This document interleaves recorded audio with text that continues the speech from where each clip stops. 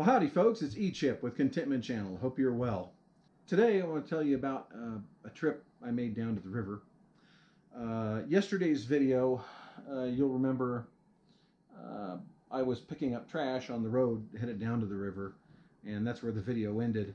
And uh, this next section is where I went actually went down to the river and tested out a product that I promised you I would keep you up to date on.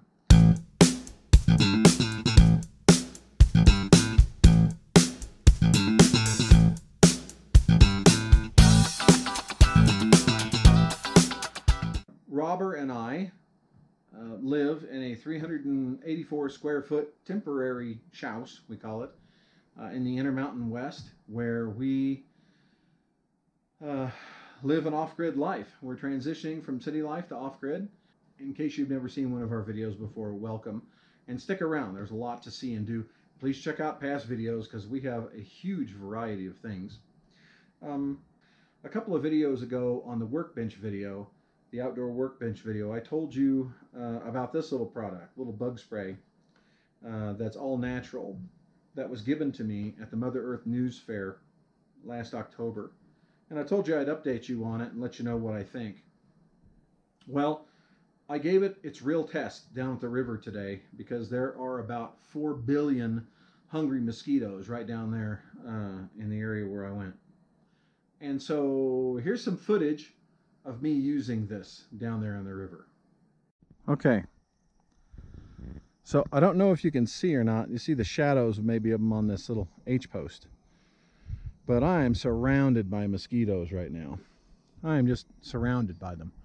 They're above my head, swarming around.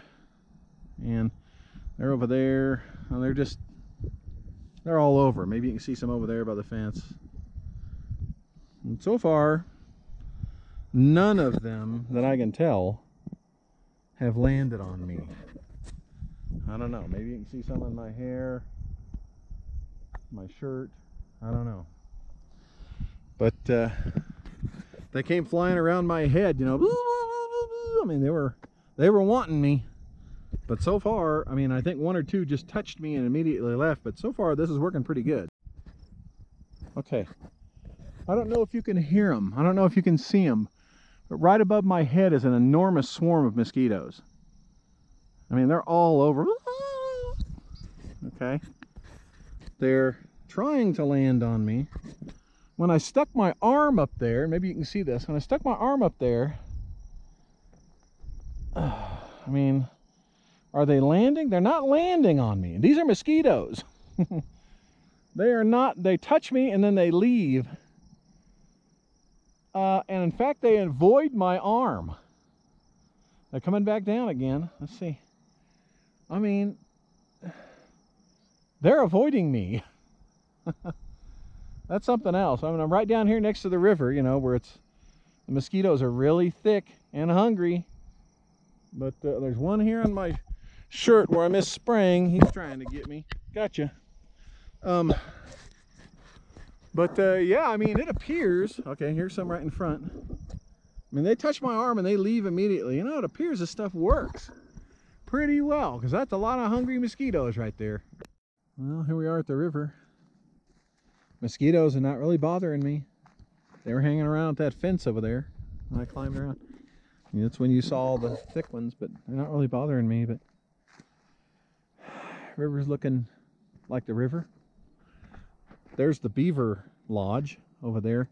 You know, we haven't seen the beaver swimming through the water in a couple of years. And I only hope that, uh, you know, hunters or somebody didn't take him out but uh, it would be cool to be able to see him. I can't tell if the lodge is, you know, abandoned now or what. But uh, anyway, river's looking good. Not very clear, but this is the snow melt season. So, oh look, here's a little bottle of some. Oh look at that, a fish jumped in the fish jumped in the river.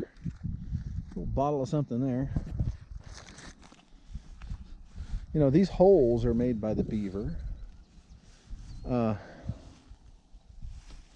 and uh, you know he he works all through this area That's part of the reason why it's all, you know, dammed up.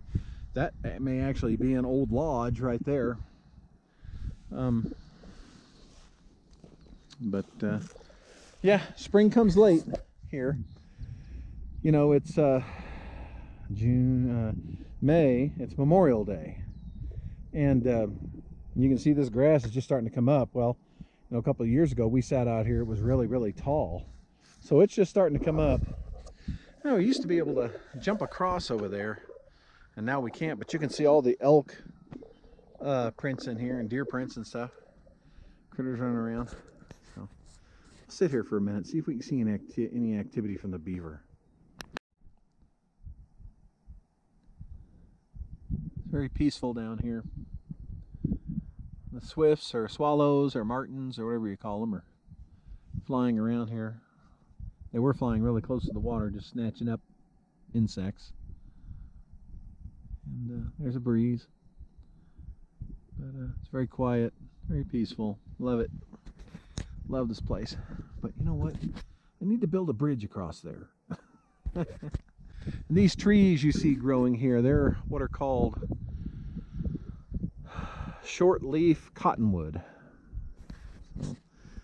Just about the only tree that grows around here, except for crab apples and a couple of others. Okay. Right here on the bank of the river, a little area here, you can see those little claws, paws. Those are pretty good size. My guess is a raccoon or something. But, uh, you know, this would be ordinarily called a, be uh, be a beaver slide or something, but I don't see any recent activity you know, where his tail's come dragging up here. There's some activity there at the Beaver Lodge. I don't know if it's a fish or if it's beaver. Look at you.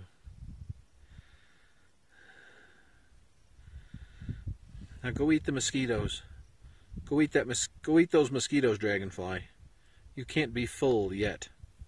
So as you can see, uh, when I stuck my arm up into the into the air, I mean there were I don't know probably there were I don't know a couple hundred mosquitoes at least directly above my head, not about this far from my head, just hovering, and they were loud. I don't know if you could hear them on the video, but they were pretty loud, making all kinds of racket. They were coming down close to my head but not one, only one, one ever landed on me, and he landed right here on my shirt. I think that was in the video.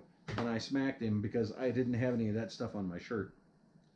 But uh, I, before I went down there, I applied this product and I put it on my arms, neck, head, behind my ears, and my shirt, front and back, around the shoulder. Um, I even did the undersides of my arms, and I went walking. And you saw those mosquitoes did not touch my arm at all, or if they did, the moment they got on, they left um, because they they don't like this stuff.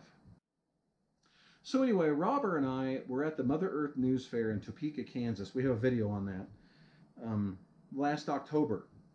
And when we were there, we met Dan Chiras and his wife Linda Stewart, and they uh, Dan Chiras. Some of you may have heard of him. He's he's very well known in the sustainable architecture, sustainable building uh, off-grid home, Earthship, uh, you know, just all kinds of earthen, natural and sustainability um, projects. He's written several books on the subject. He has a degree in medicine, and he's also been a professor of environmental science and written textbooks on environmental science. So he's, he's a pretty sharp guy. And um, anyway, we are at the booth uh, talking with he and his wife Linda, and we were explaining about our property out here because Dan and Linda have lived here uh, in Colorado before. And uh, I was just explaining to him how the mosquitoes are just incredible out here and how we were having to spray ourselves down with permethrin just to keep them away. And we were having to constantly spray around here just to keep them up because they were relentless. Um, I don't know what it is about my blood and mosquitoes.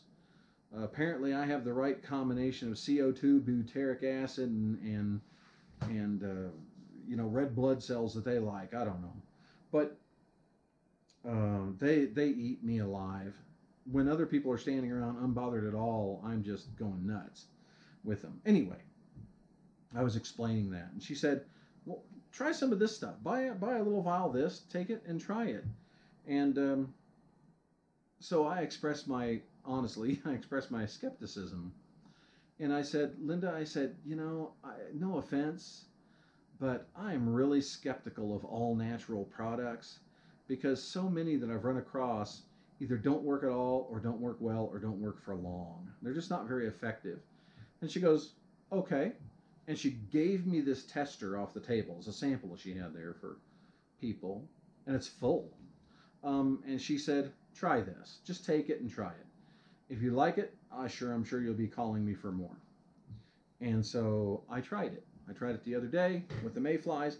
I tried it today with the mosquitoes, and you saw those mosquitoes really didn't bother me at all the whole time I was down there in the river. And the plus side is that I smell really good. I smell like clove and peppermint and licorice tea. Um, I kind of like the smell. Now, if you go to their website, Evergreen Natural Works, and look at their solutions page or something like that, this is where you'll find this. And then they also have another product that they call Bug Off. I think it's called Bug Off. And it has lemongrass and peppermint and I don't know, maybe chamomile or I don't know, something. Um, so I think I will get on the website and order one of those bug off, and then I'll I'll continue to use this until it runs out.